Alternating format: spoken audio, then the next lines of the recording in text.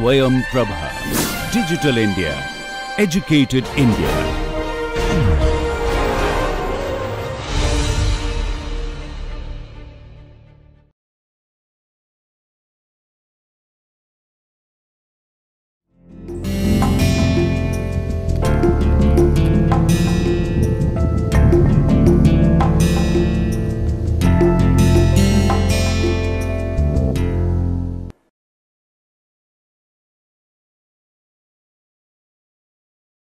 स्वच्छता का समाजशास्त्र पाठ्यक्रम में आपका स्वागत है।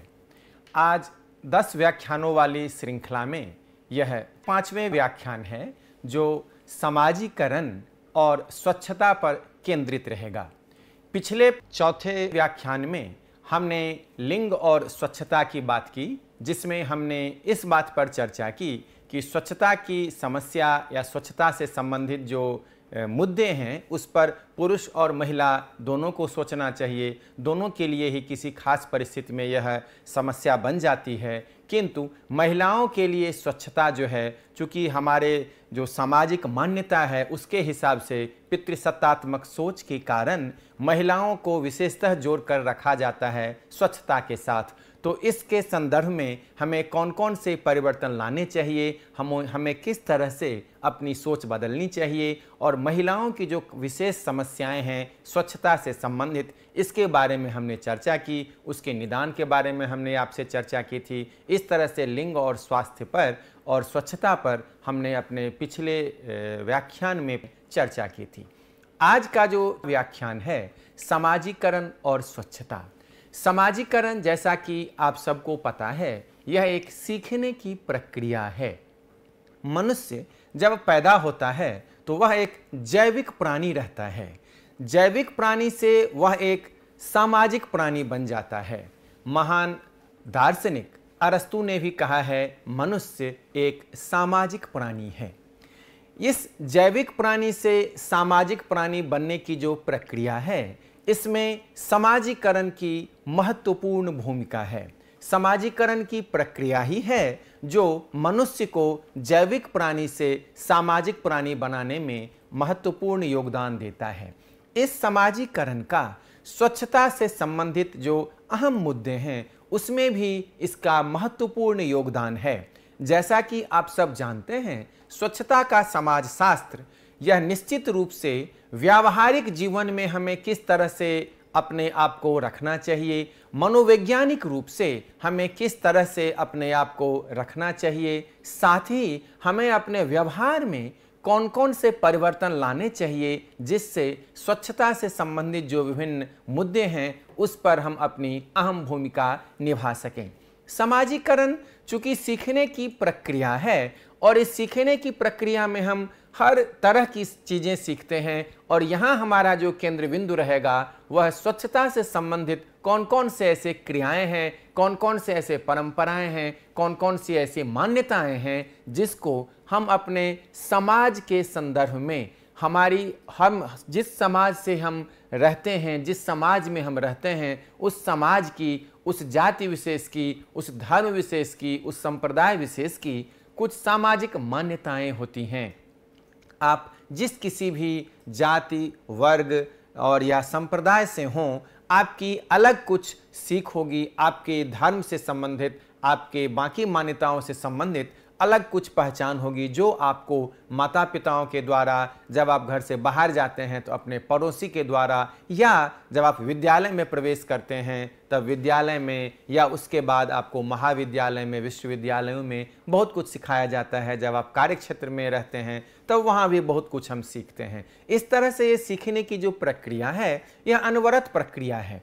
और हमें समाज में रहना है, चूँकि हम सामाजिक प्राणी हैं, इसीलिए हमें वही सब कुछ सीखना होगा जो हमारे समाज के द्वारा सुझाया गया है। हमारे समाज में माना गया है कि ऐसा व्यवहार करना आपके लिए उपयुक्त है और हमसे ये अपेक्षा की जाती है कि हम वही व्यवहार करें जो हमारे समाज द्वारा मान्यता प्राप्त है। और हर व्यक्ति की अलग अलग मान्यताएँ होती हैं, क्योंकि अलग अलग व्यक्ति आपके जो मित्र समूह हो सकते हैं या कार्य क्षेत्र में आप जिन लोगों से अंतक्रिया करते हैं अलग अलग समुदाय अलग अलग जाति के हो सकते हैं, उनकी अलग अलग सांस्कृतिक जो पहलू हो सकते हैं, उनकी जो सीखने की प्रक्रिया है अलग अलग हो सकती है, क्योंकि हम सबसे अपेक्षा की जाती है कि अपनी संस्कृति के बारे में हम सीखें। जब हम परिवार में रहते हैं, जब हम कार्यक्षेत्र में जाते हैं तो वहाँ की भी कुछ व्यवस्था होती है। जब हम जाते हैं वहाँ कार्यक्षेत्र में, तब हमें उस तरह की जो समस्या है या वहाँ क्या क्या हमें करना है, वहाँ कैसे अपना व्यवहार करना है, उस तरह का हमें प्रशिक्षण दिया जाता है। वहाँ जो उस कार्यक्षेत्र की प्रशिक्षण है, वह हमारे लिए बहुत महत्वपूर्ण है। कार्यक्षेत्र का प्रशिक्षण तो औपचारिक रूप से होता है, किंतु जब हम परिवार में सीखते हैं, अपने बड़े बुज़ुर्गों से सीखते हैं, अपने माता पिता से सीखते हैं, वह निश्चित रूप से अनौपचारिक रहता है। तो जब हम समाजीकरण में कुछ सीखते हैं तो बहुत कुछ अनौपचारिक रूप से भी सीखते हैं, बहुत कुछ औपचारिक रूप से भी सीखते हैं और हमें इन औपचारिक सीख और अनौपचारिक सीख का संगम बनकर हमें जब व्यवहार करना होता है समाज में, तब हमसे ये अपेक्षा की जाती है कि हम वही व्यवहार करें जो इस समाज में हमसे सीखने के लिए कहा गया है या जिसके द्वारा हम समाज में जब नियंत्रित किए जाते हैं, सामाजिक नियंत्रण की जो प्रक्रिया है, वह सामाजिक नियंत्रण हमें उस रूप में नियंत्रण में रखता है जो कि कहा गया है कि ऐसा आपको करना है। ऐसा नहीं होता है समाज में कि एकाएक आपसे कह लिया जाता है कि ऐसा आप क्यों नहीं कर रहे हैं। अपितु, पहले आपको प्रशिक्षित किया जाता है, पहले आपको सिखाया जाता है कि ऐसा करना है। एक दो बार आपको फिर से सलाह दिया जाता है। तब भी अगर आप नहीं करते हैं, तभी सामाजिक नियंत्रण की ज़रूरत होती है। और हम सब अच्छी तरह जानते हैं कि हम जब व्यवहार करते हैं समाज में, हमें पता होता है कि हम किस तरह का व्यवहार करें और अलग अलग तरह का व्यवहार अलग अलग व्यक्ति व्यक्तियों से करने की अपेक्षा की जाती है। जैसे परिवार में अपने माता पिता के साथ आप जिस तरह से व्यवहार कर सकते हैं, विद्यालय में अपने शिक्षकों के साथ वैसा व्यवहार नहीं कर सकते। घर में जैसे आप बच्चों के साथ, बड़ों के साथ व्यवहार कर सकते हैं, अपने कार्यालय में आप अपने से उच्च अधिकारी के साथ वैसा व्यवहार नहीं कर सकते। हमें ये पता होता है कि किस व्यक्ति के साथ किस अवस्था में किस तरह से कब कब व्यवहार करना चाहिए? यह चाहे कार्य क्षेत्र हो, जहाँ औपचारिक प्रशिक्षण दी जाती है, और यह चाहे परिवार हो, पड़ोस हो, समाज हो, जहाँ अनौपचारिक रूप से हमें सिखाया जाता है, और वहाँ जो हम सीखते हैं, उसी को हमें नियंत्रित करने के लिए सामाजिक नियंत्रण की भी व्यवस्था की गई है। और हम जब भी कोई कार्य करते हैं, अगर हमें लगता है कि हम जो सामाजिकरण से सीखे हैं उससे अलग तरह का व्यवहार कर रहे हैं। जैसे, अगर स्वच्छता से संबंधित सामाजिकरण में हमने सीखा है कि कूड़ा करकट के साथ उसको किस तरह से फेंकें जिससे दूसरे को कोई नुकसान ना हो, हम अपने घर की साफ़ सफ़ाई कैसे करेंगे, कोई मेहमान आ रहा है तो उसके साथ कैसे व्यवहार करें। जब हम सीखते हैं कि साफ़ सफ़ाई कैसे करें, अपने शरीर को कैसे साफ़ करें, अपने आप को कैसे हम स्वच्छ वातावरण में रखें अगर हम ये नहीं करने के बारे में जब भी सोचते हैं कि यह हम नहीं करेंगे, चूँकि हम समाज के सक्रिय सदस्य हैं, तुरंत हमें वह भय आ जाता है कि सामाजिक नियंत्रण भी है इसी समाज में।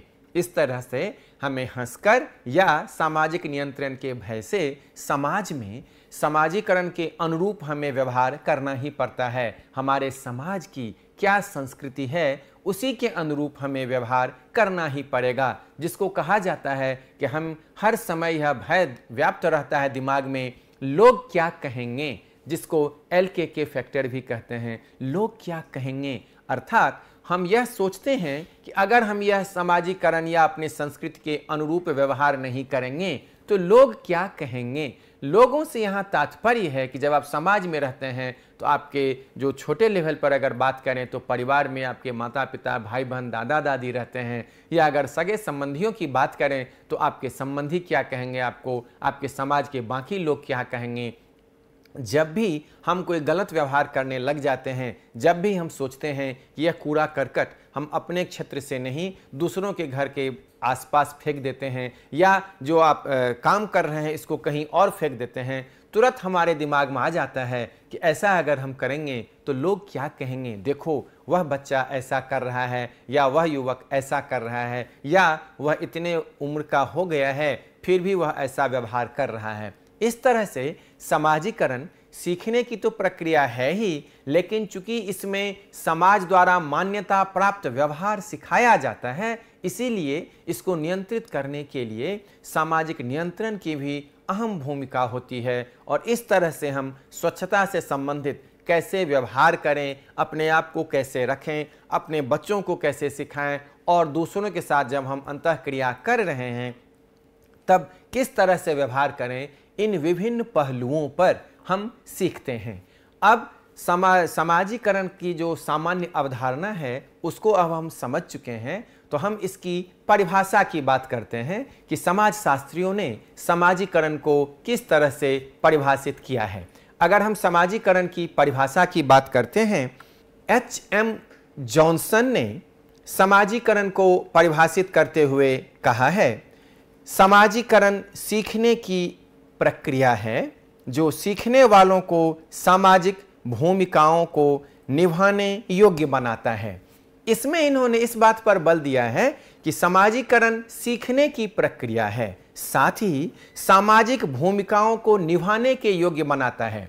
इसमें आपको दो चीज़ समझने की ज़रूरत है। एक तो जैसा हम अभी चर्चा कर रहे थे कि इसमें हम सीखते हैं। समाजीकरण सीखने की एक प्रक्रिया है। हम दूसरों से, चाहे जब हम घर में छोटे होते हैं तो अपने माँ बाप से, अपने भाई बंधुओं से सीखते हैं। या जब हम कार्यालय में जाते हैं तो हमसे जो बड़े होते हैं कर्मचारी, उनसे हम सीखते हैं। या जब हम और खेल के मैदान में होते हैं, अपने किसी जो बड़े मित्र होते हैं, उनसे सीखते हैं। तो सीखने की एक प्रक्रिया है।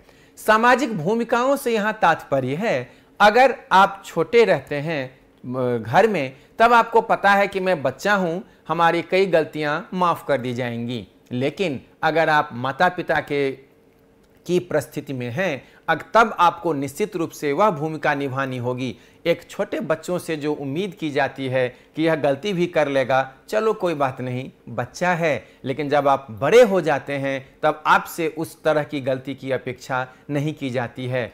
हर व्यक्ति की परिस्थिति के अनुसार भूमिका होती है। परिस्थिति जिसको स्टेटस कहा जाता है, उसके अनुसार ही आपको समाज द्वारा भूमिका करने के लिए कहा जाता है, अर्थात रोल जो आपको प्ले करना होता है, भूमिका निभानी होती है। तो अगर आपकी भूमिका माता पिता के रूप में निभानी है, चूँकि आपकी परिस्थिति जो है स्टेटस जो है माता पिता की है, या दादा दादी की है, या नाना नानी की है, परिवार के अंदर, इसीलिए सामाजिक भूमिकाओं को निभाना और उस भूमिका के लिए आप जिस किसी भी संस्कृति से हों, जिस किसी भी जाति समुदाय से हों, आपकी संस्कृति में, आपके समाज द्वारा, आपकी जो परिस्थिति है या स्टेटस है, उसके अनुरूप आपकी भूमिका निर्धारित कर दी गई है और उसी भूमिका के आधार पर आपसे व्यवहार करने की अपेक्षा की जाती है। हर समाज में हम अपेक्षा रखते हैं कि यह उस व्यक्ति की परिस्थिति है स्टेटस है इसलिए उसकी जो भूमिका होगी, उसी के अनुरूप होनी चाहिए। और यही आप सीखते भी हैं, क्योंकि आपको जो सिखाने वाले थे आपके माता पिता या अन्य समाज के सदस्य, उन्होंने आपको यही सिखाया है। और इस तरह व्यवहार करके आप भी अपने बच्चों को या दूसरे लोगों को यही सिखाते हैं कि परिस्थिति के अनुरूप ही स्टेटस के अनुरूप ही आपकी भूमिका होनी चाहिए। इसलिए इस पर सामाजिक भूमिकाओं को निभाने योग्य बनाया जाता है। इस पर भी बल दिया गया है। दूसरी परिभाषा, अगर हम ऑगबर्न की बात करें, ऑगबर्न ने कहा है, समाजीकरण एक प्रक्रिया है, जिससे कि व्यक्ति समूह के आदर्श नियमों के अनुरूप व्यवहार करना सीखता है। यहाँ जैसा कि इस परिभाषा में भी कहा गया है कि यह एक प्रक्रिया है। अब समूह के आदर्श व्यवहार, जैसा कि अब सब जानते हैं, आप जिस किसी भी समाज से हैं, जिस किसी भी वर्ग से हैं, आपका जो समाज है, उसमें एक आदर्श व्यवहार होता है। आदर्श व्यवहार का यहाँ अर्थ माना यह जाता है, जिसकी हम बात कर रहे थे कि परंपरागत तरीके से, संस्कृति के रूप में, मूल्य के रूप में आपको दिखाया गया है कि आपका आदर्श व्यवहार कैसा होना चाहिए। वह आदर्श व्यवहार समाज में जो आपको स्थिति दी गई है, उसी तरह से आपको करना है। न सिर्फ़ समाज में, अपितु जब आप कार्य क्षेत्र में हैं, जैसे अगर आप विद्यालय या महाविद्यालय में हैं, एक छात्र के रूप में जो आपसे व्यवहार करने की अपेक्षा की जाती है, उससे अलग व्यवहार की अपेक्षा की जाती है जब आप शिक्षक बन जाते हैं। इसी तरह जब आप किसी कार्यालय में हैं तो आपकी पद क्या है, आपकी स्टेटस या प्रस्थिति क्या है, उसी के अनुसार आपसे आदर्श व्यवहार की अपेक्षा की जाती है। इसीलिए कहा जाता है, हम हम दैनिक वार्तालाप में कहते हैं कि वह इतना बड़ा हो गया है, फिर भी ऐसा व्यवहार कर रहा है। अर्थात हमसे उम्मीद की जाती है, जब हम बढ़ते हैं, हमारी परिस्थिति बढ़ती है, उसकी अनुरूप हम आदर्श व्यवहार करें। आदर्श व्यवहार का यहाँ यह भी तात्पर्य है कि आप न सिर्फ़ अपना व्यवहार ठीक से कर रहे हैं, अपितु जब आपका जो अगला पीढ़ी है, आपके जो बाकी लोग हैं, समाज के सदस्य हैं, अगर आप अपना व्यवहार आदर्श रूप से करते हैं, आप अपना व्यवहार मर्यादित रूप से करते हैं तो वह छोटा बच्चा देख के सीख रहा है कि हमें भी ऐसा व्यवहार कल जाके करना है। अगर घर में माता पिता अच्छी तरह से साफ़ सफ़ाई रखते हैं, अच्छी तरह से कूड़े को सही जगह पर फेंकते हैं। अगर ऑफ़िस में या अगर आप कॉलेज में, अगर आप शिक्षक हैं, स्कूल में आप शिक्षक हैं, अगर आप अच्छा व्यवहार करते हैं तो जो कल का बच्चा है, जो आज बच्चा है, कल जाके वही शिक्षक बनेगा।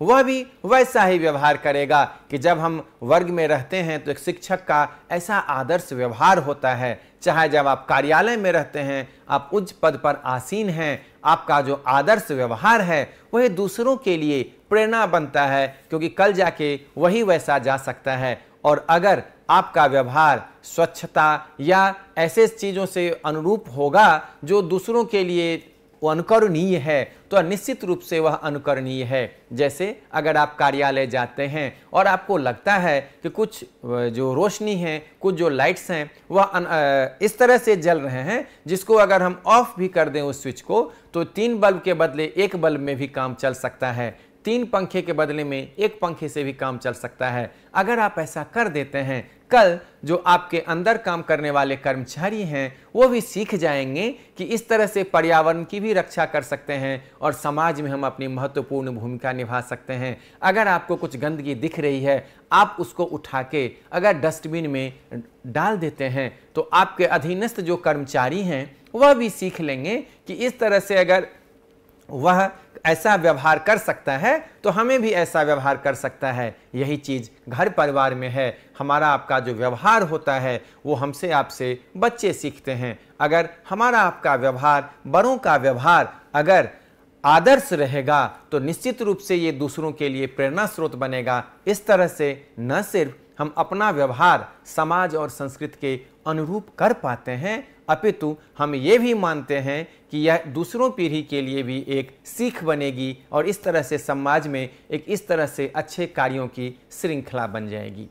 जब हमने इन दो परिभाषाओं की बात की तो इसके आधार पर समाजीकरण की कुछ विशेषताएँ हैं, समाजीकरण की कुछ प्रकृति हैं। उसकी अगर हम चर्चा करें तो अब हम उसमें ये पाते हैं कि समाजीकरण की प्रकृति इस रूप में चर्चा की जा सकती है इसकी अगर पहले बात करें तो यह एक सीखने की प्रक्रिया है। जैसा कि हम बार बार बात कर रहे हैं, सामाजिकरण सीखने की एक प्रक्रिया है। जब हम यह बताते हैं कि सीखने की प्रक्रिया है, इसका अर्थ यह होता है कि यह हमें जैविकीय रूप से या यह हम अपने माता पिता से बायोलॉजिकली नहीं ले लेते हैं। यह ऐसा नहीं है कि वंशानुगत है।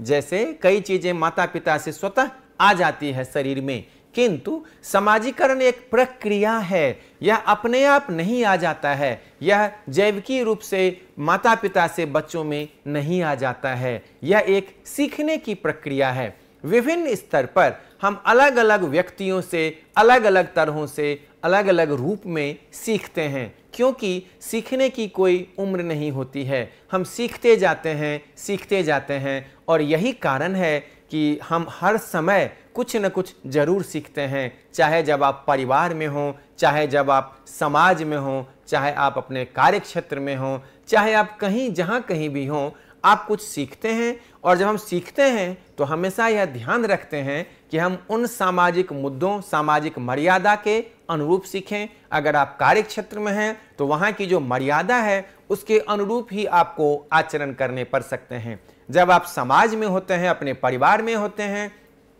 आपकी अलग संस्कृति होती है, अलग मान्यताएँ होती हैं, वह आपको सिखाया जाता है और उसी के अनुरूप आपसे उम्मीद की जाती है कि इस परिवार के अंदर, समुदाय के अंदर, समाज के अंदर आपका व्यवहार वैसा ही हो।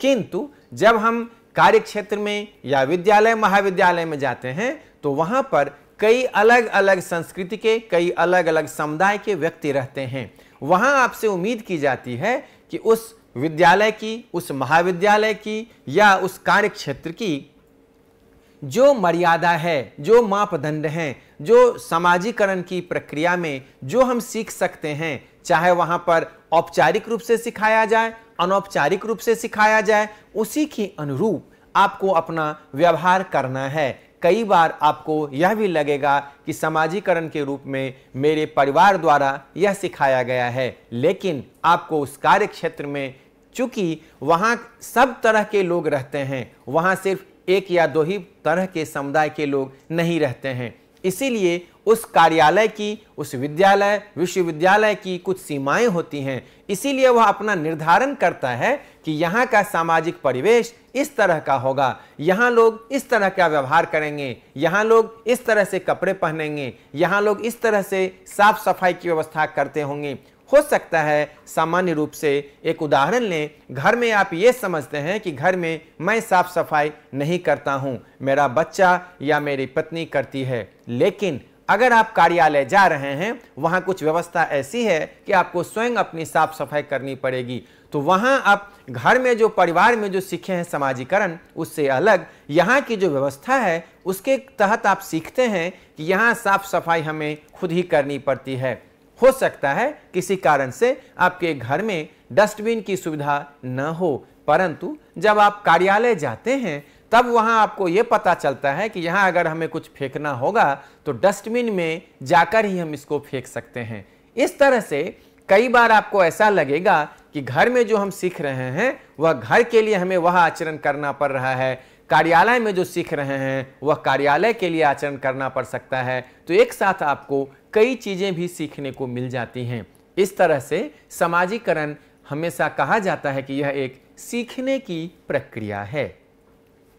इसकी दूसरी विशेषता है कि यह आजीवन चलने वाली प्रक्रिया है। समाजीकरण के बारे में कहा गया है कि यह आजीवन चलता रहता है, समाजीकरण कभी रुकता नहीं है। इसमें आप ये खास चीज़ एक ध्यान रखें कि यह ऐसा नहीं है कि जन्म से लेकर मृत्यु तक चलती है। समाजीकरण की प्रक्रिया जन्म से पूर्व ही शुरू कर दी जाती है और हमारे देश में, भारत में एक अच्छा खासा उदाहरण है जिससे भी आप जान सकते हैं कि समाजीकरण की प्रक्रिया जब गर्भस्थ शिशु रहता है, तभी से शुरू हो जाती है। अर्थात आपको आपकी सामाजिक मान्यताओं के अनुसार आपके जन्म से पहले से ही सिखाया जाना शुरू कर दिया जाता है। आप सबको पता होगा अभिमन्यु के बारे में। अभिमन्यु ने चक्रव्यूह की रचना, चक्रव्यूह के अंदर कैसे जाते हैं, यह गर्भस्थ शिशु के रूप में ही सीख चुके थे। जब अभिमन्यु गर्भस्थ शिशु के रूप में ही सीख चुके थे। इससे ये पता चलता है कि उसी दौरान आपकी सीखने की प्रक्रिया शुरू हो जाती है। इतना ही नहीं, अगर आप देखें, कई राज्य सरकारों द्वारा ऐसी व्यवस्था की गई है कि गर्भवती महिलाओं के लिए कुछ प्रशिक्षण कार्यक्रम आयोजित किया जाता है और उनको उन कार्यक्रमों के साथ रूबरू किया जाता है, जिसमें वो अच्छी अच्छी चीज़ें सीखें, जिससे वो मानसिक रूप से सशक्त रहेंगी अच्छा उनका माहौल रहेगा तो आने वाला जो बच्चा है, वह अच्छा होगा। इसी तरह से ज़्यादातर समुदाय में, ज़्यादातर क्षेत्र में ऐसी व्यवस्था की जाती है कि जब गर्भस्थ होती है महिला, गर्भवती महिला के लिए उस नौ महीना के दौरान कई तरह की सांस्कृतिक परंपराएँ, कई तरह के ऐसे व्यवहार किए जाते हैं और उसमें यह ध्यान रखा जाता है कि माँ का मानसिक वातावरण ठीक रहे आने वाले जो गर्भस्थ शिशु है, जो कल जाके बच्चा आएगा, वह हर तरह से ठीक रहे। इस तरह से हमारे समाज में इसकी व्यवस्था जन्म से पहले से ही प्रारंभ हो जाती है और यह माना जाता है कि जब बच्चा पेट में रहता है, तभी वह सीखना शुरू कर देता है। इस तरह से आप यह समझ सकते हैं कि यह जो आजीवन चलने वाली प्रक्रिया है, यह आपके जन्म लेने से पहले शुरू हो चुकी रहती है, क्योंकि जब हम बच्चा पेट में रहता है, तभी से वो कुछ कुछ सीखना शुरू कर देता है। और जब बच्चा पैदा होता है, जैसा कि हम शुरू में बात कर चुके थे, तब वह निश्चित रूप से एक जैविक प्राणी के रूप में रहता है। और इसी सामाजिकरण के द्वारा, क्योंकि जब बच्चा पैदा हो रहा है, वह बच्चा एक समुदाय विशेष के घर में पैदा होता है, एक जाति विशेष के घर में पैदा होता है, एक क्षेत्र विशेष में पैदा होता है। लेकिन वही बच्चा जब उस दूसरे जाति या दूसरे क्षेत्र, दूसरे समुदाय में पैदा होता है, जब बच्चा पैदा होता है, तब उसमें कोई अंतर नहीं रहता है। लेकिन यही समाजीकरण की प्रक्रिया है, जो उस बच्चे को धीरे धीरे सिखाना शुरू कर देता है कि यह जो मान्यता है, यह सांस्कृतिक व्यवस्था है, यह जो मूल्य है, यह मेरे परिवार का है। मैं इस परिवार का हूँ, मैं इस जाति का हूँ, मैं इस वर्ग का हूँ, मैं इस संप्रदाय का हूँ, मैं इस लिंग का हूँ। इस तरह से हमें व्यवहार करना है। तो जब बच्चा पैदा होता है, तब वह सीखना शुरू कर देता है। निश्चित रूप से बच्चों को सिखाने में परिवार की अहम भूमिका होती है, क्योंकि शुरुआती दिनों में ही बच्चा सीखता है कैसे खाना खाना चाहिए, कैसे शौच करना चाहिए, कैसे हमें हाथ धोना चाहिए। पवित्रता, अपवित्रता की जो भावना है पवित्रता, अपवित्रता का, की जो बात है, यह बच्चा उसी समय से सीखना शुरू कर देता है। कैसे शौच करना चाहिए, कैसे हाथ धोना चाहिए, कैसे ब्रश करना चाहिए, ये छोटी छोटी चीज़ें हैं जो बच्चे उसी समय से सीखना शुरू कर देते हैं। जब बच्चा उसी समय से सीखना शुरू कर देता है, उसके बाद धीरे धीरे बच्चा बड़ा होता चलता है और जिसका जब हम विभिन्न जो स्तर पर बच्चा कैसे सीखता है, इसकी तुरंत हम आगे बात करने वाले हैं। इतना ही अभी आप समझ सकते हैं कि यह जन्म लेने से पहले से शुरू होकर और मृत्यु पर्यंत बच्चा सीखता ही चलता है। जब वो बच्चा रहता है, तब सीखता है। जब वह किशोरावस्था में होता है, युवावस्था में होता है, प्रौढ़ावस्था में होता है, वृद्धावस्था में होता है, हर स्तर पर बच्चा कुछ न कुछ सीखता ही रहता है। क्योंकि एक बच्चों से जो अपेक्षा की जाती है, एक किशोर की अपेक्षा अलग होती है, एक प्रौढ़ की अपेक्षा अलग होती है। जब वह वृद्धावस्था में जाता है, उस स्तर पर अलग सीखता है। क्योंकि जब हम बचपन में छोटी छोटी चीज़ें सीखते हैं तो बचपन की चीज़ें सीखते हैं। लेकिन जब हम धीरे धीरे बड़ा होता जाता है बच्चा, जब वह किशोरावस्था में जाता है, प्रौढ़ावस्था में जाता है, वृद्धावस्था में जाता है तब भी वो उसको कुछ सीखना ही है। जैसे जब वह पिता बनता है तो बच्चों के साथ कैसे व्यवहार करना चाहिए, वह तभी सीखता है। जब वह दादा बन जाता है या दादी बन जाती है नाना नानी बन जाते हैं लोग, तब अपने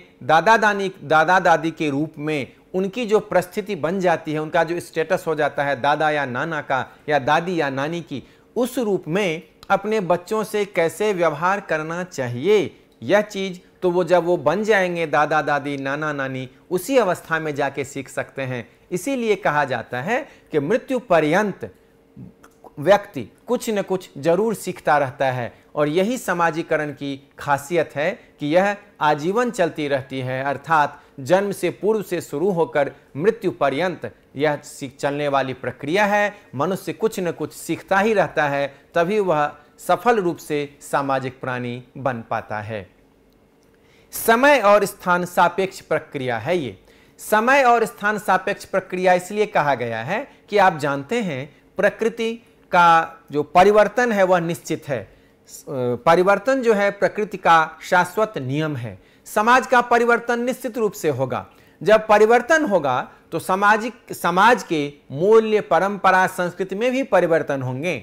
और जो बच्चा सीखेगा, वह तत्कालीन समाज में उस समय जो चली आ रही है, वही सीखेगा। जैसे आपके दादाजी जैसा व्यवहार करते थे, आपकी दादी जैसे व्यवहार करती थी, आपका व्यवहार उनसे कुछ अलग है। और आपका जब पोता होगा, आपका जब दूसरा वंश चलेगा, तब उसका व्यवहार कुछ ऐसा होगा। क्योंकि उस घर में जो चलने वाली प्रक्रिया है, उस घर में जो संस्कृति है, उस समाज की जो संस्कृति है, वह चूँकि बदलती रहती है। वह चूँकि बदलती रहती है तो बदलते अनुरूप में ही समझा जाना चाहिए कि समाज में ऐसी व्यवस्था की गई है, जो हमें अब समझना है। अर्थात जैसे आज के समय में अगर उदाहरण लें, कोई घर में लड़की है, वह स्कूल जा रही है, सामान्य रूप से जा रही है, पढ़ के आ रही है। समाज की ओर से कोई टिप्पणी नहीं की जाती है। हो सकता है उस घर में उस बच्ची की जो दादी हो, नानी हो, उनके समय में ऐसी व्यवस्था नहीं थी कि सामान्य रूप में वो बच्ची घर जाती, पढ़ने के लिए जाती और पढ़ के लौट जाती। लेकिन आज चूँकि यह सामान्य प्रक्रिया बन गया है ज़्यादातर समाज में तो बेटी अगर पढ़ने जा रही है, आ रही है। तो आज की जो बेटी है, सामाजिकरण की प्रक्रिया के रूप में वह सीख रही है, यह सामान्य चीज़ है। हो सकता है उस घर में जो बुज़ुर्ग महिला हो, उनके समय में वह नहीं था। इसी तरह से कहा जाता है कि यह समाज के हिसाब से चलता है, समय के हिसाब से चलता है। दूसरी बात अलग अलग समाज की अलग अलग संस्कृति होती है। जब हम समाजीकरण की बात करते हैं तो आज हम जिस समाज में रह रहे हैं, वहाँ के तौर तरीके सीखते हैं, वहाँ की संस्कृति सीखते हैं, वहाँ की मूल्य के बारे में हम जानते हैं। किंतु अगर हम कार्य करने के लिए, पढ़ाई करने के लिए ऐसे जगह जाते हैं, जहाँ की संस्कृति कुछ अलग है, रहन सहन, खान पान, बाकी चीज़ अलग हैं तो हमें निश्चित रूप से वहाँ के हिसाब से हमें सीखना पड़ेगा। जैसा कि हमने अभी उदाहरण दिया था अगर हम गाँव में हैं, वहाँ यह व्यवस्था है कि कूड़े कचरे को फलाने जगह या खास जगह ऐसा बनाया रहता है, वहाँ जाके हम दें। तो हमें वहाँ जाना होता है। अगर हम ऐसे जगह पर हैं जहाँ ये व्यवस्था है कि किसी संस्था के द्वारा कूड़ा कचरा इकट्ठा करने के लिए कोई गाड़ी आती है, उसमें हमें दे देना होता है। तब हम वहाँ जाते हैं। वहाँ की तरह व्यवहार करना शुरू कर देते हैं। इसी तरह कहीं दूसरे जगह जब हम जाते हैं, वहाँ की कुछ और व्यवस्था है तो चाहे वह साफ़ सफ़ाई से संबंधित हो, स्वच्छता से संबंधित हो, चाहे हमारे और किसी व्यवहार या प्रकृति से संबंधित हो, हमारा व्यवहार निश्चित रूप से समय के हिसाब से सापेक्ष होता है और उस समाज के हिसाब से सापेक्ष होता है और यही विशेषता है समाजीकरण की। इसी तरह से संस्कृति को आत्मसात करने की प्रक्रिया भी कहा गया है समाजीकरण को। संस्कृति को आत्मसात करने की, जैसा आप जानते हैं, जब भी आप किसी कार्य क्षेत्र में जाते हैं, जब आप कहीं नौकरी करने जाते हैं तो निश्चित रूप से कुछ दिनों तक आपको प्रशिक्षण दिया जाता है कि इस कार्य को करने के लिए इस प्रशिक्षण की आवश्यकता है, जो आप कर लीजिए, उसके बाद आप यह नौकरी प्रारंभ कर सकते हैं। किंतु समाज में जब आप संस्कृत सीखते हैं, हर व्यक्ति अपनी संस्कृति से अवगत है। आपको यह अच्छी तरह पता होगा, इसके लिए, आपके लिए कोई खास प्रशिक्षण शिविर की व्यवस्था नहीं की गई थी। जब कोई खास प्रशिक्षण शिविर की या ऐसी कोई औपचारिक व्यवस्था नहीं की गई थी, आप अपने संस्कृति को कैसे जानते हैं? तो इसका श्रेय जाता है समाजीकरण को। आप अपने परिवार के द्वारा, आप अपने सगे संबंधियों द्वारा, आप समाज के अन्य सदस्यों द्वारा संस्कृति को आत्मसात करते चले जाते हैं। आपको प्रत्यक्ष या अप्रत्यक्ष रूप से सिखाया जाता है कि आपका व्यवहार ऐसा होना चाहिए। आपको प्रशिक्षण के रूप में नहीं औपचारिक रूप से कहा जाता है कि खाने से पहले हाथ धो लो, पूजा करने से पहले मंदिर, मस्जिद गिरजा गिरजाघर या गुरुद्वारा जाने से पहले अपने को पवित्र कर लो। ऐसा प्रत्यक्ष रूप से नहीं भी कहा जाता है क्योंकि आप अपने माता पिता को देखते हैं कि जब वह कोई धार्मिक कार्य के लिए जाते हैं, तब वह पवित्र होकर जाते हैं, तब वह स्वच्छ होकर जाते हैं। इसी तरह से जब खाना खाने के लिए आप देखते हैं कि आपके घर के सदस्य ऐसा कर रहे हैं तो आप भी स्वतः रूप से हाथ धोकर ही खाना खाते हैं। इसी तरह हर एक समाज में पवित्रता, अपवित्रता या स्वच्छता से संबंधित कई ऐसे प्रचलित मान्यताएँ हैं, मूल्य हैं, संस्कृत के अंग हैं इसको आप अनौपचारिक रूप से ही ग्रहण करते चले जाते हैं। आपको कोई विशेष रूप से प्रशिक्षण नहीं दिया जाता है। तो इसका श्रेय निश्चित रूप से समाजीकरण को ही है। तो समाजीकरण के माध्यम से आप अपने संस्कृति को अच्छी तरह से समझते चले आ रहे हैं और उसको आप अपना लेते हैं। इसी तरह यह एक गतिशील प्रक्रिया है। समाजीकरण को गतिशील प्रक्रिया इसीलिए कहा गया है कि यह हमेशा परिवर्तनशील है। जैसे आज के समय में जो आप सीख रहे हैं, हम सब सजग थे स्वच्छता से संबंधित। आप सबको पता होगा, कोरोना वायरस के आने से जो आया, उसके कारण से 2020-21 में जो आपका व्यवहार हो गया था, वह कुछ अलग हो गया था। क्योंकि गतिशील प्रक्रिया इसलिए कि समाज अपने आप को परिस्थिति के अनुसार बदलता चलता है। निश्चित रूप से साफ़ सफ़ाई, स्वच्छता या बाकी सब चीज़ जो उससे पहले से चले आ रहे थे, उसके बाद से उस व्यवस्था में आमूलचूल परिवर्तन हो गया। यह भी जो बच्चा रहा होगा, वह भी सीखा, बड़ा था, वो भी सीख रहा था कि हमें साफ़ सफ़ाई से संबंधित, स्वच्छता से संबंधित अब थोड़ा और सजग होने की ज़रूरत है। सजग हम पहले से थे, सामाजिक मान्यता पहले से थी, संस्कृति में इसके उल्लेख पहले से किए जा चुके हैं, लेकिन हम थोड़ा और सतर्क हो जाएँ। इस तरह से अपने आप को परिस्थिति के अनुसार समाज बदलता चलता है, और जब समाज अपने आप को परिस्थिति के अनुसार बदलता चलता है तो निश्चित रूप से समाज के एक अभिन्न अंग होने के नाते, समाज के एक सदस्य होने के नाते, आप भी समाजीकरण के उन सब मूल तत्वों को सीखते हैं जो आपको समाज में जीवित रहने के लिए अनिवार्य हैं। इसी तरह कहा जाता है कि समाजीकरण एक गतिशील प्रक्रिया है। एक पीढ़ी से दूसरे पीढ़ी को हस्तांतरित किया जाता है। जैसा कि आप सब जानते हैं, समाजीकरण में एक पीढ़ी से दूसरी पीढ़ी को हस्तांतरित इस तरह से किया जाता है कि हमने अभी तुरंत बात किया है, या आप जैविकीय रूप से या आनुवंशिक रूप से आप नहीं लेते हैं।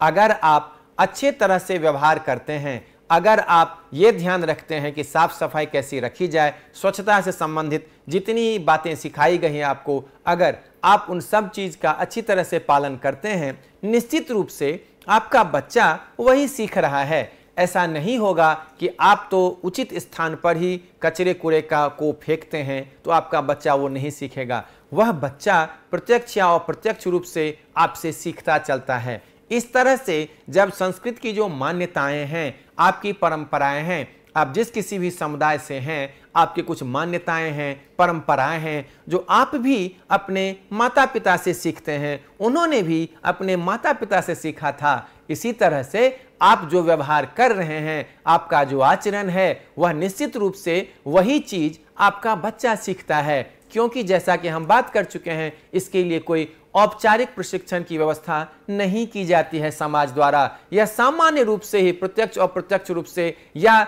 चेतन, अवचेतन मन में ही बच्चा सीखता है। ऐसा नहीं होता है कि बच्चा सजग रहता है। जैसे अगर कोई बच्चा विद्यालय या महाविद्यालय जाता है, वह सजग होके वर्ग में बैठता है कि हम आज कुछ सीखेंगे, आज कुछ अध्याय की चर्चा करेंगे। किंतु जब समाज में रहता है, परिवार में रहता है तो माता पिता के आचरण को देखते देखते वह बहुत कुछ सीख जाता है। उसको अलग से नहीं करना पड़ता है कि कब हाथ धोना चाहिए, कब साफ़ सफ़ाई रखने चाहिए, किस तरह से हमें अपने आचरण को ठीक रखना चाहिए, हमें स्वच्छता से संबंधित जितने भी आचरण हैं, उसके अनुरूप व्यवहार करना चाहिए। इसी से पर्यावरण भी स्वस्थ रहेगा स्वच्छता का वातावरण भी रहेगा, समाज भी खुशहाल रहेगा। अगर हम यह व्यवहार कर रहे हैं, हमारा आचरण ऐसा है तो निश्चित रूप से बच्चा भी वो सीखता जाएगा। इस तरह से कहा जाता है कि समाजीकरण में एक पीढ़ी से दूसरी पीढ़ी को हस्तांतरित किया जाता है। जो भी मूल्य, जो भी परंपरा, जो भी मान्यता स्वच्छता से संबंधित हमारा व्यवहार है, वह निश्चित रूप से बच्चा वही सीखता चलता है। इसी तरह से कहा जाता है स्व का विकास। जिसको हम कहते हैं सेल्फ कहते हैं स्व को, जब हम सेल्फ का विकास करते हैं, स्व का विकास करते हैं, इसका अर्थ यह होता है कि हम जब भी कुछ अपने आप को, जिसका व्यक्तित्व निर्माण कहा जाता है, हम जब व्यक्तित्व निर्माण करते हैं, अगर हर पक्ष आपका बहुत ठीक है, सब तरह से ठीक है, लेकिन जब आप कार्यालय में जा रहे हैं या दूसरे व्यक्ति के यहाँ जा रहे हैं, तब स्वच्छता से संबंधित आपके जो व्यवहार हैं, आपके जो आचरण हैं, वह अनुरूप नहीं है। आपको क्या नहीं, आप समझते ही होंगे कि इससे जहाँ आप जा रहे हैं, उसका आप पर अच्छा प्रभाव नहीं पड़ेगा। वह आपके बारे में अच्छा दृष्टिकोण नहीं रखेगा, क्योंकि वर्तमान परिवेश में सबसे अपेक्षा की जाती है कि उसका जो व्यवहार हो, स्वच्छता के अनुरूप हो। वातावरण ठीक रहे, वह जहाँ रहेगा, वहाँ का आसपास का वातावरण भी ठीक रहे। और अगर हम इस तरह से यह यहाँ रह रहा है तो दूसरे को भी अच्छा अच्छा सिखाएगा, अगर इसका खुद का व्यवहार अच्छा रहेगा। तो हम जब हम अपने स्व का विकास करते हैं जब हम अपने सेल्फ का विकसित करने की कोशिश करते हैं, उस समय हम निश्चित रूप से यह सोचते हैं कि हमारा जो व्यवहार है, इस संदर्भ में स्वच्छता से संबंधित व्यवहार करने में हम कितने सफल हुए हैं। क्योंकि जब व्यक्तित्व का निर्माण होता है, या कुछ खास तरह के कपड़े, खास तरह के जूते पहन लेने से ही नहीं होता है। अपितु मानसिक रूप से हम कितने सबल हैं, मानसिक रूप से हम कितने सजग हैं और इस संदर्भ में अगर देखें तो मानसिक रूप से हम कितने सजग हैं स्वच्छता से संबंधित अपने व्यवहार करने में।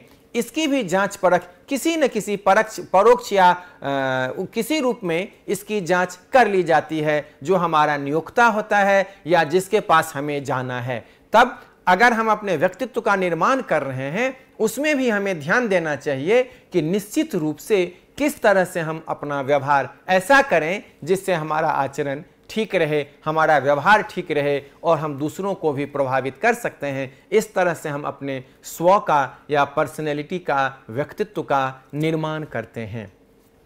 जैसा कि आप जानते हैं, जब हम कुछ सीखते हैं तो उसमें कई लोगों की अहम भूमिका होती है। समाज बहुत व्यापक होता है और समाज ही व्यापक नहीं होता है। हमारी जो ज़िंदगी होता है, वह जन्म लेने से, पूर्व से लेके मृत्यु पर्यंत हम कई लोगों के संपर्क में आते हैं। कुछ लोगों के प्रत्यक्ष संपर्क में आ जाते हैं, कुछ लोगों के परोक्ष संपर्क में आते हैं। लेकिन निश्चित रूप से हमारा जो व्यक्तित्व तो निर्माण होता है, स्व का निर्माण किया जाता है, जो हम सामाजिकरण से सीखते हैं, उसमें कई लोग अपनी अहम भूमिका निभाते हैं, जिसको समाजीकरण के साधन के रूप में माना जाता है। अब अगर हम ये चर्चा करें कि ऐसे कौन कौन से साधन हैं, एजेंसी हैं, जिसकी महत्वपूर्ण भूमिका होती है समाजीकरण में, व्यक्ति को तैयार करने में या व्यक्ति का जो व्यक्तित्व निर्माण होता है, वह कौन कौन से साधन हैं समाजीकरण के जिसकी अहम भूमिका होती है। इस पर अगर हम चर्चा करें तो सबसे प्रमुख नाम है परिवार का। परिवार का सबसे महत्वपूर्ण स्थान होता है हमें समाजीकरण के हिसाब से तैयार करने में, क्योंकि हर छोटी छोटी चीज़ जब बच्चा छोटा होता है तो माता पिता ही उसको सिखाते हैं टॉयलेट कैसे जाया जाता है, कैसे बैठा जाता है, कैसे साफ़ सफ़ाई की जाती है, या उसे संदर्भित जो भी और सामान्य रूप से सीखने की चीज़ है, वह परिवार में ही सिखाया जाता है। अब इसके साथ ही हमें यह भी सोच लेना चाहिए, परिवार में जिस तरह से हम सीख कर बड़े होते हैं, वह ज़िंदगी भर हमारी जो दिमाग में वह स्थिर रहता है, जैसे अगर हम देखते हैं कि ब्रश कर रहे हैं लोग और वो नल जो है वो बंद है, हम भी सीख जाते हैं कि इसका मतलब पानी का दुरुपयोग नहीं करना चाहिए। जब ज़रूरत हो तभी नल खोल लेना चाहिए, पानी ले लेना चाहिए, फिर पानी बंद कर देना चाहिए। छोटी चीज़ है, यह हमें सीख लेना चाहिए। अगर हम देख रहे हैं कि पापा जब दाढ़ी बना रहे हैं, तब नल उसी समय सिर्फ़ खोलते हैं जब उनको पानी की ज़रूरत होती है। कल जाके हम भी वैसा ही व्यवहार करेंगे। परिवार में बहुत कुछ ऐसी व्यवस्था है जिसको सीखकर हम जीवन पर्यंत आगे बढ़ पाते हैं। जैसे हम पिछले व्याख्यान में चर्चा कर रहे थे लिंग और स्वच्छता की। यह परिवार में ही हम सीखते हैं कि अगर बेटा बेटी में अंतर नहीं किया जाता है। साफ़ सफ़ाई की ज़िम्मेदारी सिर्फ़ मेरी बहन का नहीं है, मेरा भी है। घर में अगर एक बेटा या बेटी है, उसको परिवार में ही ऐसी शिक्षा दी जाए समाजीकरण के द्वारा कि दोनों की ज़िम्मेदारी है। ऐसी बात नहीं है कि बेटी को हम बोलें कि वह किचन सेट से खेले और बेटा को हम बोलें कि वह बैट बॉल से बाहर जाके खेले। दोनों को अगर हम इसी अवस्था में इस चीज़ की शिक्षा दे देंगे कि बेटा हो या बेटी, तुम दोनों का समान उत्तरदायित्व तो है कि जितना तुम काम कर सकते हो इस उम्र में, तुम दोनों मिलकर कर सकते हो, इसमें कोई भेदभाव नहीं हो सकता है। अगर हमारे घर पर कोई मेहमान आता है तो उसको एक गिलास पानी लेके हम अपने बेटा को भी एक बार भेजें, एक बार अपनी बेटी को भी भेजें तब उस बच्ची के मन में ये भावना नहीं आती है कि लैंगिक जो असमता है, वह दिखाई देता है। बेटा भी यह सीख लेगा कि मैं कोई ज़्यादा बड़ा नहीं हूँ और वह अगर बहन है तो छोटी नहीं है। इस तरह से यहाँ परिवार में हम छोटी छोटी चीज़ों सिखाकर बच्चों को जब हम बताते हैं कि यहाँ परिवार में कोई लैंगिक असमानता नहीं है, साफ़ सफ़ाई का काम, घर में अगर झाड़ू लगाने की बात आती है एक दिन माँ भी कर रही है, एक दिन पिताजी भी कर रहे हैं। एक दिन इसी तरह बेटी भी कर रही है, एक दिन बेटा भी कर रहा है। इस तरह का माहौल अगर परिवार में चले तो न सिर्फ़ स्वच्छता से संदर्भित जो हमारा व्यवहार है, वह कुशल होगा, बल्कि लैंगिक असमानता की जो भावना है, जिसकी शुरुआत परिवार से ही होती है। यहाँ हम इसको भी सुधार सकते हैं, और अगर हम सामाजिकरण में खुद वैसा व्यवहार करते हैं तो हमारा बच्चा वैसा ही सीख रहा है। इस तरह से परिवार की महत्वपूर्ण भूमिका तो है ही समाजीकरण में। स्वच्छता से संबंधित जो हमारा व्यवहार है, इसमें जो जातिगत विषमताएँ हैं, लैंगिक विषमताएँ हैं, उसको भी हम पारिवारिक स्तर पर ही ठीक कर सकते हैं। इससे हम स्वस्थ समाज के निर्माण में भी अपनी महत्वपूर्ण भूमिका निभा सकते हैं। तो निश्चित रूप से परिवार में जब बच्चा सीखता है, वही उसके दिमाग में बैठा रहता है और जब वह बड़ा होता है, वैसा ही अनुरूप वह व्यवहार करने लग जाता है। दूसरी महत्वपूर्ण संस्था है मित्र समूह। मित्र मंडली जो है, वहाँ बहुत कुछ बच्चा सीख जाता है। सामान्य रूप से जो हमको पता भी नहीं चल पाता है, वह मित्र मंडली में सीख लेता है। ऐसा होता है, जब छोटा बच्चा होता है तो हर माता पिता सामान्यतः उसकी हर बात मान ही लेते हैं। वह बच्चा जो भी जिद करता है कि हम ये लाल खिलौना खिलौना लेंगे तो लाल खिलौना मिल जाता है, नीला खिलौना लेंगे तो नीला खिलौना मिल जाता है। इस तरह से परिवार में जब बच्चा छोटा होता है तो वह यह नहीं सीख पाता है कि इस दुनिया में ऐसी भी व्यवस्था है कि मेरी हर जिद पूरी नहीं भी हो सकती है। जो मैं जो जो चाहूँगा, वही मुझे मिल जाएगा, ऐसी व्यवस्था नहीं है। किंतु, जब वह मित्र मंडली में जाता है मित्र मंडली के साथ, जब अपने फ्रेंड्स के साथ, वह व्यवहार करना शुरू करता है, उनके साथ अंत क्रिया शुरू करता है तब जब आप कल्पना कीजिए, दो छोटे बच्चे हैं मित्र मंडली के, और एक बच्चा बोलता है कि इस बैट के साथ मैं ही खेलूँगा। बच्चा बोलेगा, नहीं, इसी बैट के साथ मैं भी खेलूँगा। आपस में नोक झोंक होंगे। उसके बाद यह निर्णय होगा कि नहीं, एक ही बच्चा, चूँकि एक ही बैट है, एक ही बच्चा खेलेगा। यह छोटी सी बात है, लेकिन यह छोटी सी सीख उस बच्चे को ज़िंदगी भर के लिए दे दिया गया कि हमारी हर बातें पूरी नहीं भी हो सकती हैं। जो चीज़ वह परिवार में नहीं सीख पाता है, वह चीज़ वो मित्र के साथ सीख सकता है। प्लस कई ऐसी औपचारिक चीज़ें हैं जिसकी शुरुआत वो अपनी मित्र मंडली से सीख लेता है। तो परिवार में हम बहुत कुछ सीखते हैं, उसके अलावा मित्र मंडली से भी हम साफ़ सफ़ाई स्वच्छता या अपने आचरण से संबंधित बहुत कुछ हम सीख लेते हैं अपने मित्र मंडली या फ्रेंड सर्किल में। पड़ोसी के पास भी हम बहुत कुछ सीख लेते हैं, क्योंकि सामान्य रूप से हम पड़ोस में जब जाते हैं तो हमें माता पिता द्वारा बताया जाता है कि सजग रहना, ऐसा व्यवहार करना, वैसा व्यवहार करना। तो क्या होता है अनुशासन? क्या होता है? नियंत्रित रूप में रहना, नियंत्रित रूप में खाना, नियंत्रित रूप में पहनना। जब हम वहाँ जाते हैं तो वहाँ घर की साफ़ सफ़ाई से संबंधित तो सिखाई जाती है। ये भी बताया जाता है कि जब पड़ोसी के घर हम जा रहे हैं, वहाँ इधर उधर मत रहना, वहाँ इधर उधर चीज़ मत करना। अर्थात स्वच्छता से संबंधित चीज़ों का विशेष ध्यान अपने पड़ोसी के घर में रखना है। यह भी हमें माता पिता द्वारा सिखाया जाता है। तो समाजीकरण का एक महत्वपूर्ण अंग है पड़ोसी का समूह। विवाह कहा जाता है कि विवाह स्त्री और पुरुष दोनों के लिए यह एक महत्वपूर्ण सीख लेके आता है, क्योंकि हम अपने आप को कितना दूसरों के अनुरूप ढाल पाते हैं, वैवाहिक जीवन की सफलता इसी पर निर्भर करती है। पत्नी अपने आप को पति के अनुरूप और पति अपने आप को पत्नी की अनुरूप कितना ढाल पाता है और कितना उसमें तालमेल बन पाता है। इसी पर निर्भर करता है विवाह रूपी संस्था का भविष्य। और विवाह रूपी संस्था के भविष्य के बाद हम बहुत कुछ सीखते हैं, क्योंकि पुरुषों के लिए भी विवाह रूपी संस्था बहुत ज़रूरी है और महिलाओं के लिए विशेषतः ज़रूरी इसलिए हो जाता है कि पितृसत्तात्मक परिवार में स्त्रियाँ विवाह के बाद दूसरे घर चली जाती हैं, जो उनका उसके बाद से अपना घर हो जाता है। विवाह से पहले चाहे वो स्वच्छता से संबंधित संस्कृत से संबंधित जो मान्यताएँ उन्होंने सीख रखी है विवाह के बाद उनको कुछ नए नए चीज़ें सीखने होती हैं। विवाह के पहले स्वच्छता साफ़ सफ़ाई बाकी सब चीज़ों का वह जब अप, एक बेटी के रूप में अपने माँ बाप के साथ रहती थी तब जो करती थी उससे कुछ अलग रूप में उसको विवाह के बाद करना पड़ता है। इससे हम ये सीखते हैं कि विवाह रूपी संस्था का भी महत्वपूर्ण योगदान है एक बच्चे को समाजीकरण का प्रत्यक्ष या अप्रत्यक्ष प्रशिक्षण देने में। इस तरह से विवाह रूपी संस्था का एक महत्वपूर्ण योगदान है, जिससे न सिर्फ़ स्त्री पुरुष, बल्कि समाज के अन्य लोग, जैसे विवाह के बाद जो उसके और रिश्तेदार बनते हैं, चाहे पुरुष हों, चाहे स्त्री के हों, उनसे कैसे तालमेल रखें, उनके साथ कैसे व्यवहार किया जाए, इन सब चीज़ों के बारे में भी व्यक्ति सीखता है। और इस तरह से अगर बचपन में ही वह बेटी सीख चुकी है कि घर की साफ़ सफ़ाई कैसे रखा जाए सामान्य रूप से लैंगिक असमानता को दूर करके, लैंगिक समानता की बात अगर उसके परिवार में की गई है, अगर वह लैंगिक संभाव की भावना रखती है तो जब वह ससुराल जाएगी, उसके बच्चे होंगे, उसके पास भी वो, उसको भी वो वही शिक्षा देगी कि बेटा बेटी एक समान होता है, कभी बेटा भी साफ़ कर सकता है घर की, कभी बेटी भी सफ़ाई कर सकती है तो इस तरह से फिर वो अगली पीढ़ी को भी अच्छी शिक्षा दे सकती है।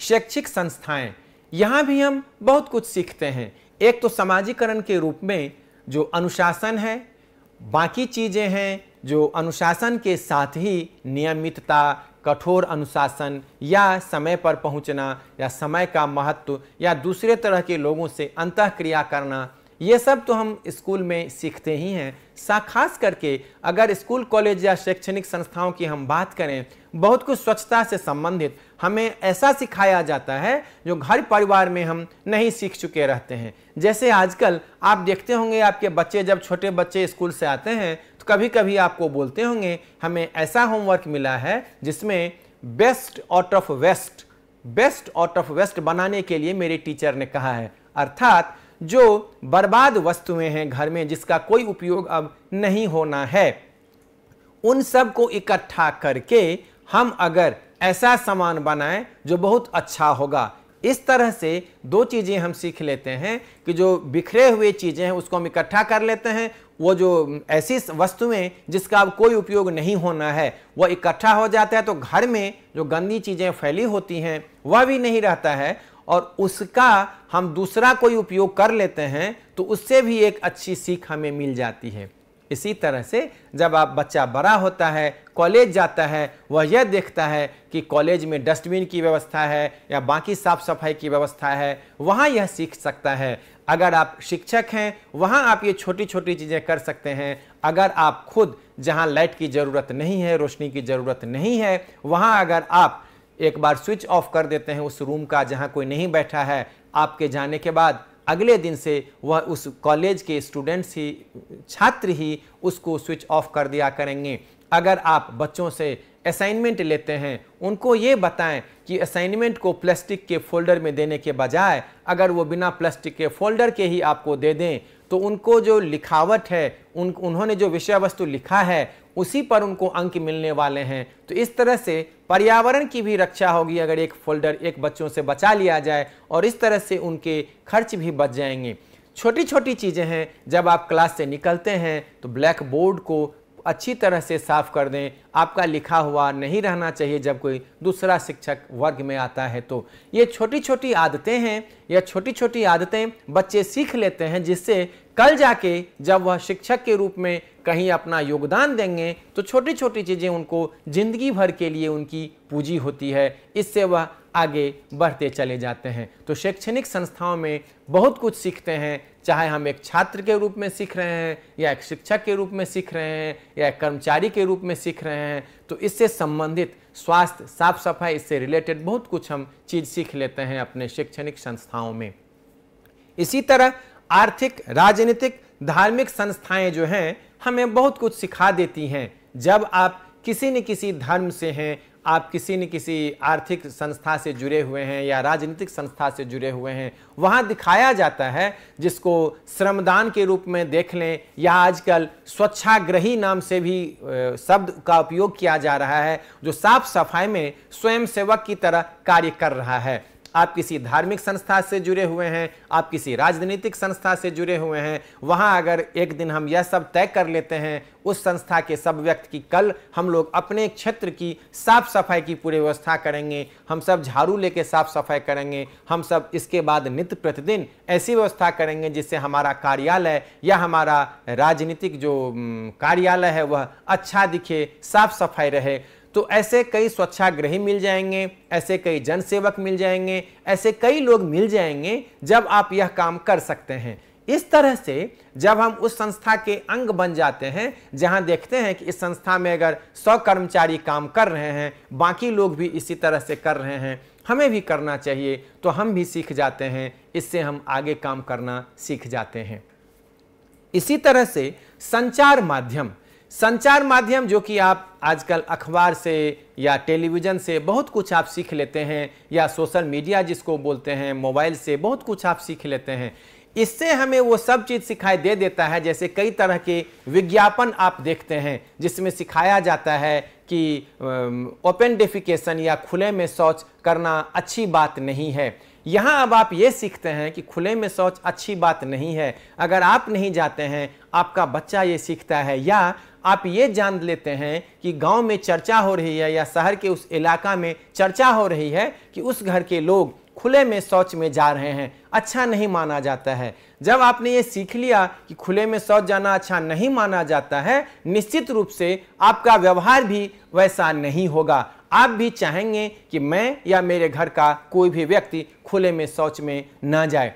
इस तरह से इन विभिन्न संस्थाओं के द्वारा आप बहुत कुछ सीखते हैं। और जब आप बहुत कुछ सीखते हैं समाज के द्वारा तो समाज को ही वह देते हैं और आपका व्यवहार समाज के लिए ही लाभकारी होता है। इस तरह से स्वच्छता और समाजीकरण के संदर्भ में जो हमने अभी चर्चा की, इसके लिए आप कुछ और जो हैं पुस्तकें, उसको आप पढ़ सकते हैं। अपने गहन अध्ययन के लिए उनको आप अपने उपयोग में ला सकते हैं। और हमने इसके लिए आपके लिए एक संदर्भ सूची तैयार की है। यह संदर्भ सूची कुछ इस प्रकार से है। एच एम जॉनसन की पुस्तक है sociology, a systematic introduction. Hetukar Jha की पुस्तक है, sanitation in India, a historico sociological survey. B K Nagla की पुस्तक है sociology of sanitation B K Nagla की दूसरे आलेख है problems of sanitation in India does culture matter यह आलेख सोशियोलॉजिकल बुलेटिन में प्रकाशित है। रिचर्ड पायस की पुस्तक है sociology of sanitation Bindeshwar Pathak द्वारा संपादित पुस्तक है sociology of sanitation environmental sanitation public health and social deprivation Ashish Saxena की पुस्तक है sociology of sanitation GRP Singh द्वारा लिखित पुस्तक है, स्वच्छता का समाज शास्त्र परिचय? अनिल वघेला की पुस्तक है, स्वच्छता का समाज शास्त्र आप विस्तृत अध्ययन के लिए या गहन अध्ययन के लिए इन सब पुस्तकों की मदद ले सकते हैं और इस तरह आज के इस व्याख्यान में हमने ये देखा कि समाजीकरण क्या है इसकी प्रकृति क्या है और इसके कौन कौन से साधन हैं? इसके जो विभिन्न साधन हैं, उसके आधार पर हम ये देख सकते हैं कि यह जो जीवन भर चलने की प्रक्रिया है, उसमें अपने व्यक्तित्व का भी हम ठीक से निर्माण कर सकते हैं। और अगर हमारा व्यक्तित्व ठीक से निर्मित रहेगा, तब हम समाज में और कार्य क्षेत्र में भी स्वच्छता के अनुरूप अपना व्यवहार कर सकते हैं। और समाज को स्वस्थ बनाए रखने में, समाज में ऐसा माहौल देने में जो स्वच्छता के अनुरूप हो, हमारा महत्वपूर्ण योगदान हो सकता है। इस तरह से हमने आज के इस व्याख्यान में समाजीकरण और स्वच्छता की चर्चा की है। हमारे अगले व्याख्यान जो होगा, वह पर्यावरण और स्वच्छता पर आधारित रहेगा। उस पर्यावरण और स्वच्छता में हम इस चीज़ पर चर्चा करेंगे कि पर्यावरण और स्वच्छता किस तरह से आपस में अच्छी तरह से जुड़ी हुई है। आपने धैर्यपूर्वक इस व्याख्यान को सुना। इसके लिए आपका धन्यवाद।